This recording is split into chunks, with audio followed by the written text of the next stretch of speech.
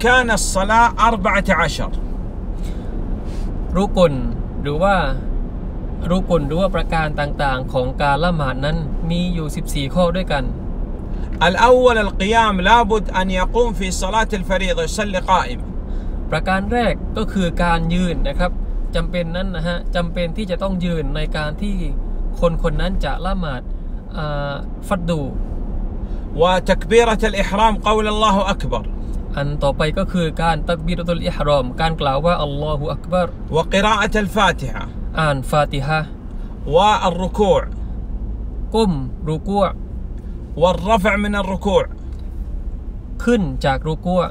วะสุญูดอัลอาซาอัลซบะก้มลงสุญูดด้วยกับอวัยวะทั้งเจ็ดอวัยวะวะรัฟะมินัลรุกูวัลจัลซะเบนัสซจดะตัย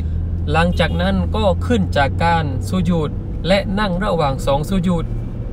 والطمأنينة لابد أن يطمئن في الصلاة لا يصلي بسرعة ينقل الصلاة نقرا การหยุดนิ่งสักครู่หนึ่งนะครับ เป็นสิ่งจำเป็นนะฮะ และจะและการละหมาดจะใช้ไม่ได้หากว่าไม่มีการหยุดนิ่งนะฮะ ولابد أن يرتب الصلاة كما صلى النبي صلى الله عليه وسلم และเช่นเดียวกันจะต้องเรียงลำดับขั้น ตามลำดับขั้นที่ท่านนบีมุฮัมมัดนั้นได้ทำไว้เป็นแบบอย่าง